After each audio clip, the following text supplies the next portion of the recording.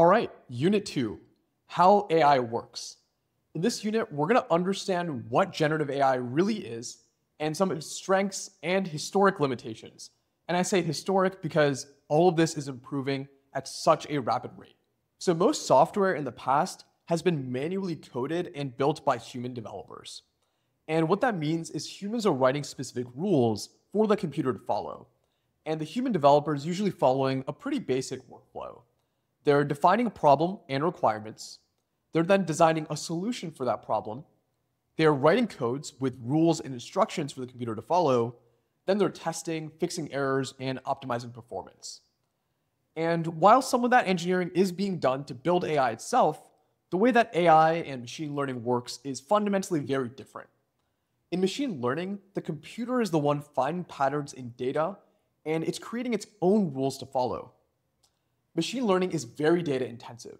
So here, humans are collecting and preparing data, training the model on all these examples, and then observing what the capabilities of the model are.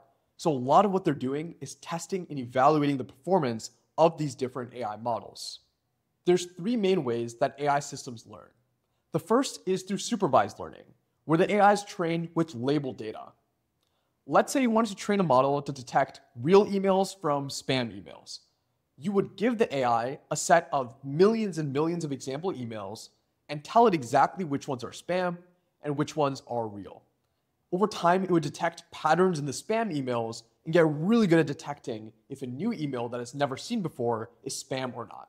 The next is unsupervised learning, where the AI is finding patterns in unlabeled data. Let's say you're Amazon and you have millions and millions of shoppers visit your website every day.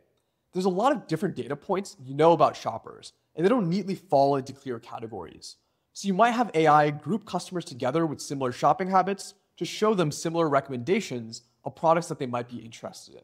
And finally, we have reinforcement learning, where AI is given rewards and penalties based on its performance.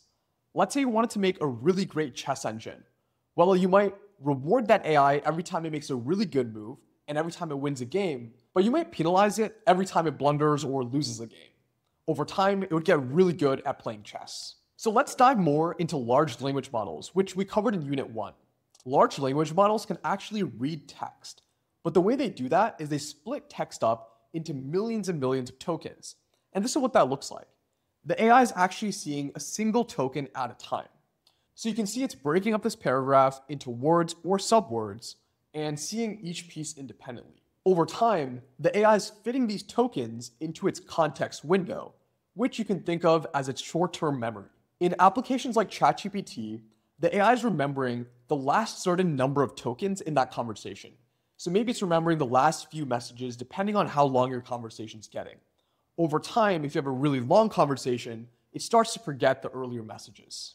And finally, here's how a large language model actually generates text. In this sentence, we see the cat is chasing the. Based on all of its training data, the AI is now predicting the next most likely word. And here it's mouse. So just by guessing the next word or the next token, the AI can give really impressive results. So putting all these pieces together, here's how ChatGPT and similar tools work.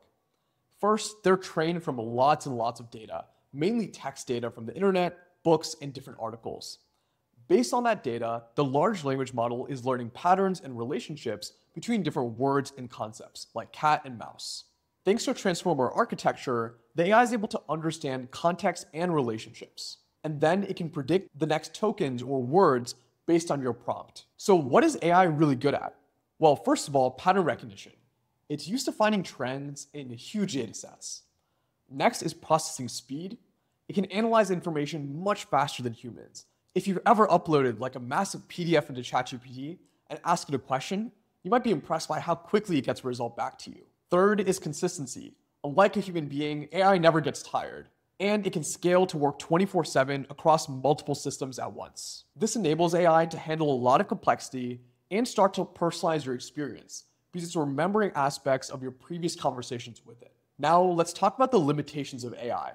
They can hallucinate at times, meaning they can generate false information confidently. AI is also prone to bias because it can reflect and amplify biases in the training data, let's say from the internet, that it's been provided with. That said, companies like Anthropic and OpenAI do a lot of great work to combat this, so we consider their models to be generally safe. And jumping ahead to number five, the black box problem.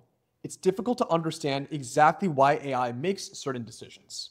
That said, it's not all doom and gloom. Like I mentioned in the introduction, AI is improving incredibly fast. For example, there's way fewer hallucinations in AI tools today versus two to three years ago. This is because many AI tools can actually go search information from the web to make sure it's giving you a cited answer. Additionally, for subjects like math, tools like Flint actually have the AI go out and use a calculator to make sure that's giving you accurate responses. And you can imagine that's much better than having the AI try to think of the answer in its own head. And finally, the need to write really complex, in depth prompts is slowly starting to fade, as some AI tools, like Flint, have the AI write prompts for the AI to follow. It turns out that AI is really good at prompt engineering. With that, let's jump into Unit 3.